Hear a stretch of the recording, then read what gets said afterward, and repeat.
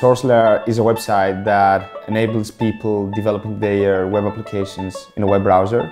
That means that they don't have to download or configure or install any tools anymore. Uh, so the name is horrible, but the reason we chose it is because it comes from the source code. The source is from the source code, and the layer is where we keep the source code. So this is because in our website you can write code in the browser. It keeps the source code. So this is how it came, and we had a .com domain name available. We have our own servers where we host the files of our users and we have created a user interface that lets, lets them write their code, run their code, test their code and deploy, publish that code to their to production. We let them do their work without caring if they have a computer with them, they can work anywhere, they don't have to download anything, they feel safe about their files and their progress being available anytime, anywhere. So what we do is actually removing friction from their workflow.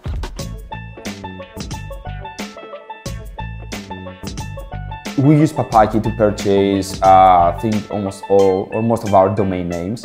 Uh, the reason we do that is that the process is really simple. Uh, most of the websites abroad have quite complex forms in order, in order to do that, but Papaki does that really, really simple. The innovation of Papaki that makes us use it now is how easy it is to manage the DNS records that lets us hook the domain names to different services and servers. Before I had the chance to uh, meet the people from Papaki personally, didn't have in mind how technologically advanced uh, was as a company. And I was really surprised when I learned that they would like to create a Docker community in Crete. And I was really happy about that.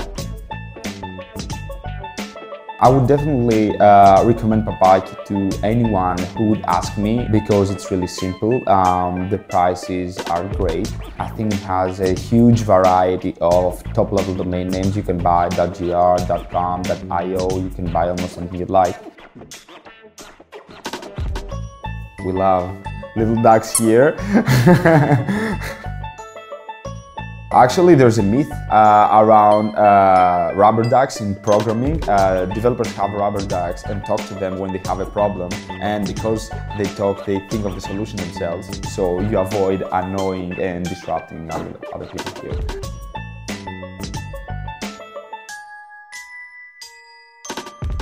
Our mission with SourceLair, we believe that it is to remove friction from software development. So in 10 or 15 years, what we would like to see is more people producing more and better software that makes our world a better place.